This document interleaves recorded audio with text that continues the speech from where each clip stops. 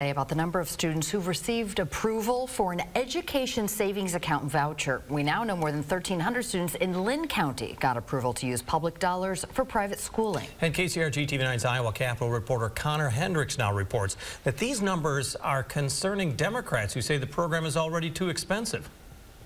Nearly 19,000 Iowa students were approved for a private school voucher.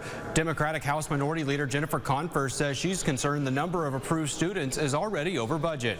So we had planned and we had been told that the program would cost $107 million.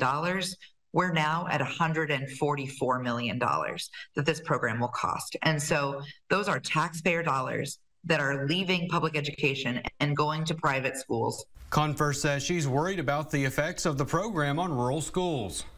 We all know what happens when a school closes in a community. I worry about these communities as the state sends more dollars to private school and fewer to public school. Konfrst says school vouchers are an opportunity for the Democratic Party to make gains in the next election. School vouchers are unpopular with Democrats, they're unpopular with Republicans, and they're unpopular with no party voters. Iowans can smell when something isn't right. And they know it's not right to send $144 million of our tax dollars to private schools. Right now, only the approved number of vouchers has been released. We don't yet know how many students were awarded a voucher who then left public school.